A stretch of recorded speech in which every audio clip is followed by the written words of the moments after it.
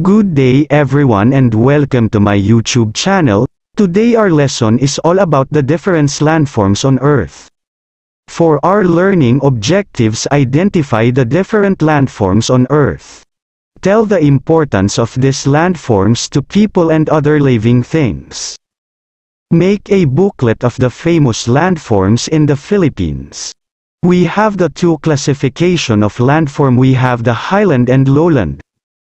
Highlands situated high above sea level lowlands situated within sea level.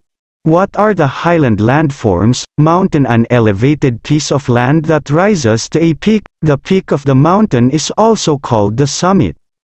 And here is the picture of mountain mountain farming can also be done in mountains. Next we have mountain ranges mountain ranges a series of mountains that is next to one another. And here is the picture of mountain ranges next we have volcanoes. Volcanoes is a mountain that erupts, this is where molten rocks called lava come out.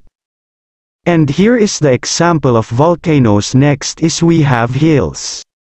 Hills is smaller than a mountain, the popular Chocolate Hills in Bohol is a famous tourist destination. And here is the picture of hills next we have plateau. Plateau an elevated piece of flat land, and here is the picture of plateau. What are the lowland landforms? Plain a vast space of flat land, rice and other plants are usually grown and farmed in plains. And here is the picture of plain next we have valleys. Valleys are plains in the middle of the mountains.